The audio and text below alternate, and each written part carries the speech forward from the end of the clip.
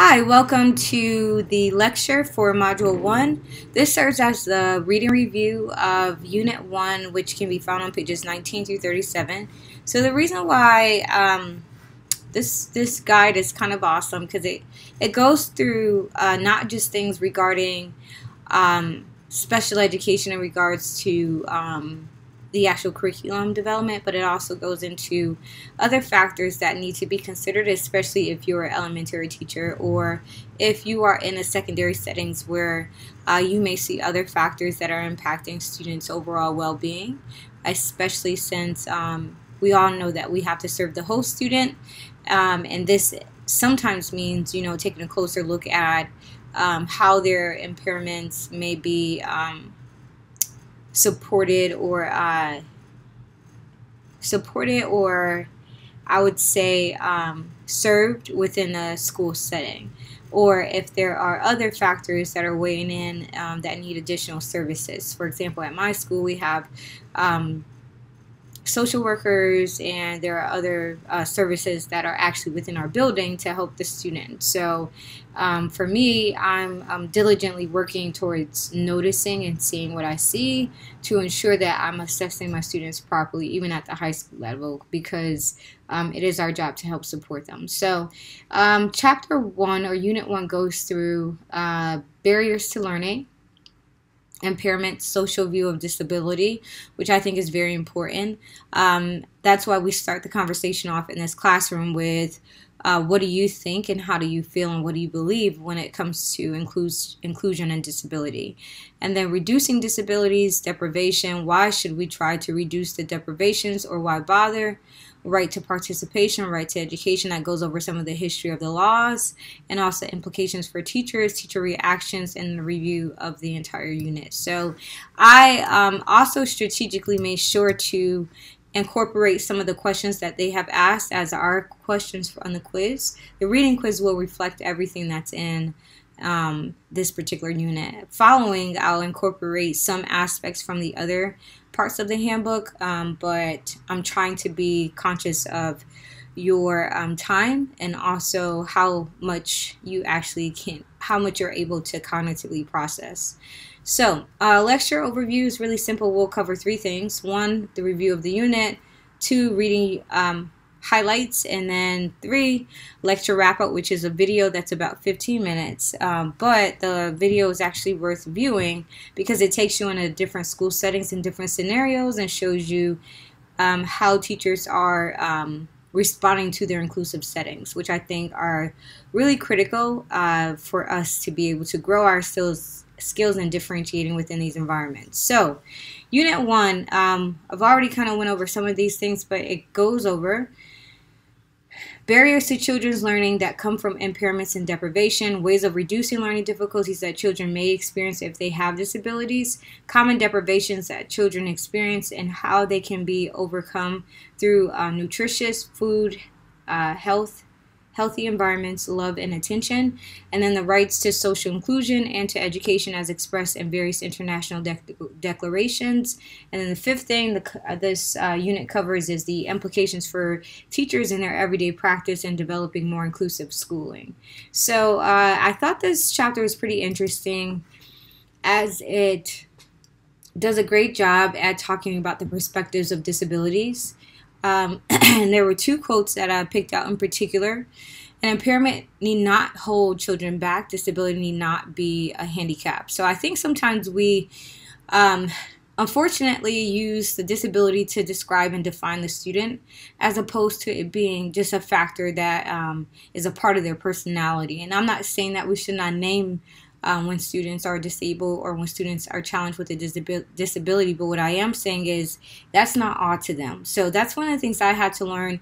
My first uh, couple of years, I was uh, tasked with being a um, paired with an inclusive teacher. So I had a co-teacher and in my inclusive setting, and I didn't really understand. I have read the uh, Law uh, Disability Act uh, released in 2004, but I didn't really understand what that meant. Um, and it took me a while to learn how to um, decrease the impacts of impairments that students have with my um, teaching abilities, and I'm still working towards that today. So it says many of the disabling effects of impairments can be reduced if children have the opportunity to one to interact with peers and adults in their community. Um, two, to experience a range of environments which minimize the impact of their impairment, such as buildings that have no steps.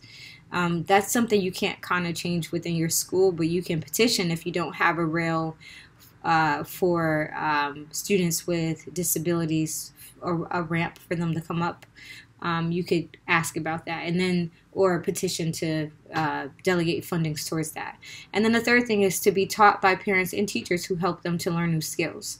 So the main point in the perspectives is is that the disability should not define a student and should not limit a student, which we all know. We should always be working towards an inclusive education setting. So inclusive education acknowledges that all children can learn and that all need some form of support in learning. And that applies to most students who haven't been officially diagnosed. However, it's very important for us to keep this in mind for students who have been diagnosed and do have an IEP or 504 plan. Um, inclusive education aims to uncover and minimize barriers to learning. So that means aims means that every single day or every year you're working towards doing this better. Inclusive education is uh, broader than formal schooling and includes the home, the community, and other opportunities for children for education outside of schools. I think, um, especially with students who and parents who may be challenged with different diagnoses that the students get, um, I think it's important for us to consider ways to partner with the community and to better serve students and or find services for them um, that goes beyond the classroom setting or or maybe um, integrates uh, skills that they need to learn from both the uh, physical classroom and then at home. So, for example, I have a friend who has a child who is autistic. And one of the things that he struggles with is expression of emotion. So if he gets angry, he goes into an angry rant and then he breaks things. So one of the recommendations I have for her was to find um, a class that teaches uh, kids on how to manage their anger. And the reason why I suggested that is because my niece too has some learning disabilities that are um, um, associated with her emotions. So one of the things that I noticed my sister do was incorporate. Um, she found a school that actually had a class where they taught them how to manage their emotions. So if those services are not within the school, seeing a student have behavior outbursts hey, why not recommend, you know, different services that may assist them um, to dealing with the challenges of their emotions so that they can develop healthier ways to express themselves. Um, so that's what I mean by um, it's about changing attitudes, behaviors, teaching methods, curricular environments to meet the needs of all children. Um, also, inclusive education is a dynamic process which is constantly evolving according to local cultures and contexts, and it is part of the wider strategy to promote an inclusive society. Um, so it's not just about the classroom, it's about us as a society, as a community, trying to better ourselves and how we serve each other. Um, and it's not just that students bad or um, they don't know how to behave right or they need to up their medication.